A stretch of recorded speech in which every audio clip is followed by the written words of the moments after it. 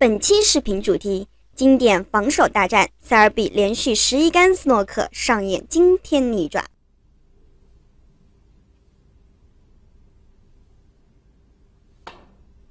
在观看本视频之前，先给大家简单说明一下，所谓连续防守，是指在明显为防守意愿的前提下，塞尔比连续做了十一杆斯诺克。OK，清楚了这个解释。咱们下面一起来欣赏下本局的防守大战。在斯诺克球员中，谈到防守，希金斯以及塞尔比，包括我国的丁俊晖，在这一方面都可以算是高手中的高手。而本局中两位球员在安全球方面的见招拆招，确实是对得起防守大师这个名号。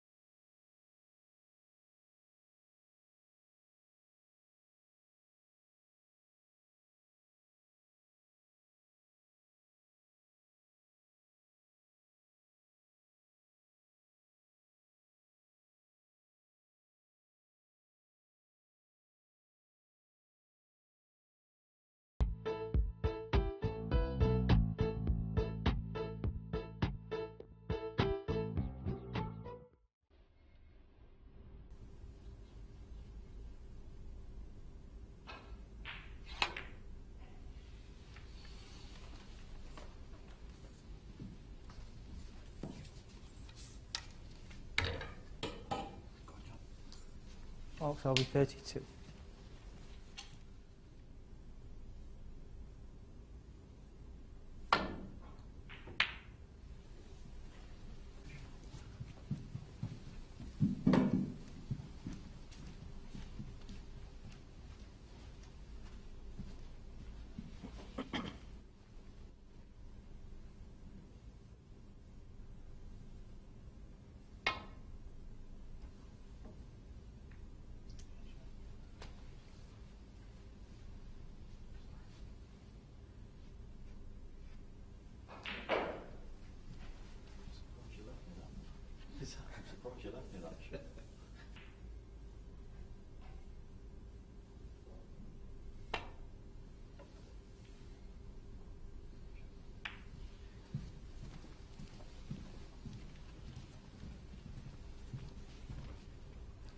本局中，希金斯单杆得到七十四分后转为防守。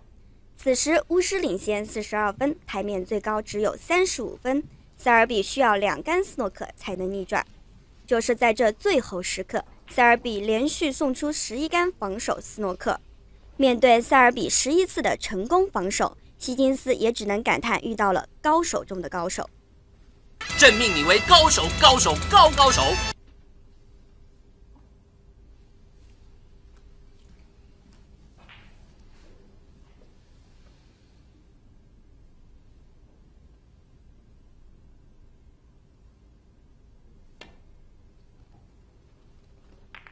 Wow.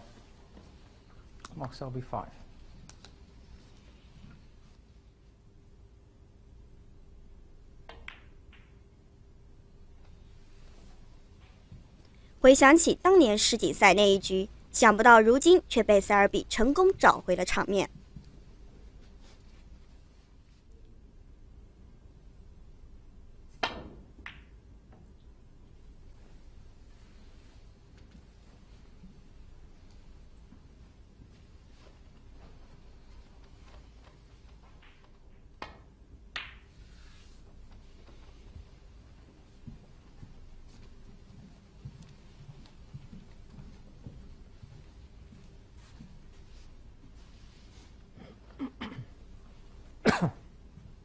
冯冯平时喜欢收集斯诺克的数据资料，例如球员交手记录、奖金收入、冠军数量等。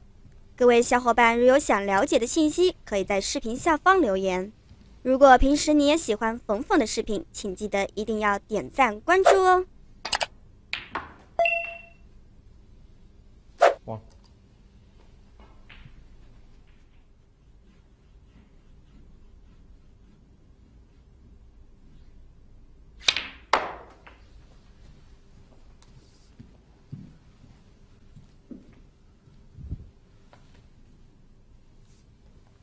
Seven.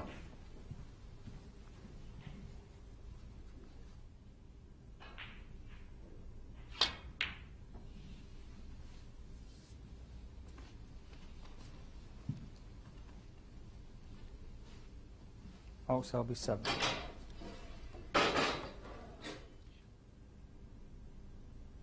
虽然最终希金斯二比三不敌塞尔比，不过巫师还是取得四胜两负的成绩，以净胜局的优势力压战绩相同的凯伦威尔逊，排名第一，晋级胜则主。而一周内连续征战三个小组的希金斯，成功收获一点四五万英镑，实现个人收益最大化。此前，我国小将周跃龙在第一小组中以第一的身份晋级，只收获了六千四百英镑。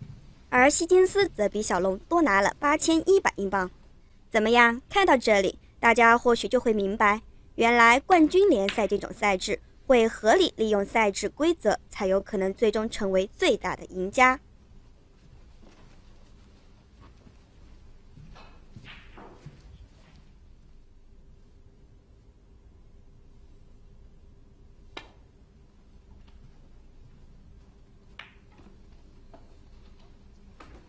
Wow. Also, I'll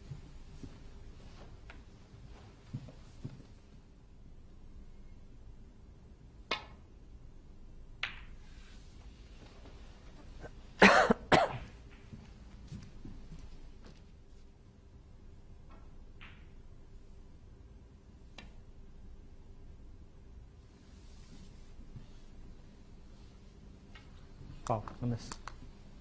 Oh, sorry, before.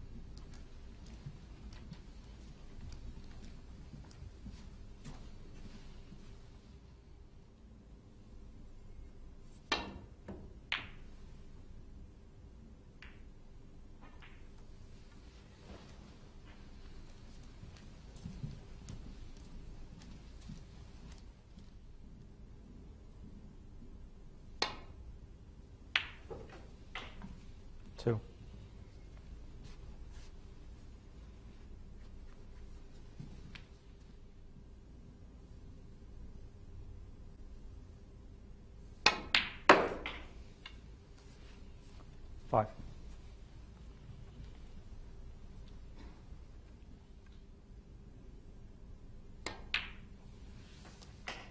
Nine.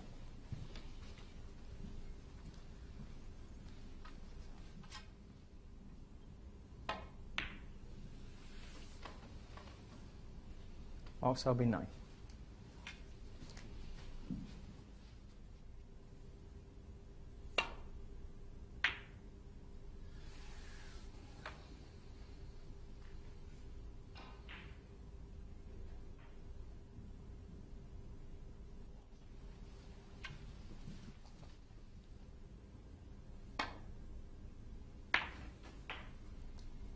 Five.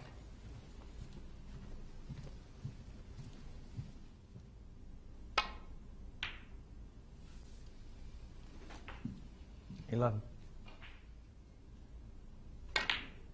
好啦，本期视频就到这里，我是看台球的冯冯，各位小伙伴记得点赞关注哦。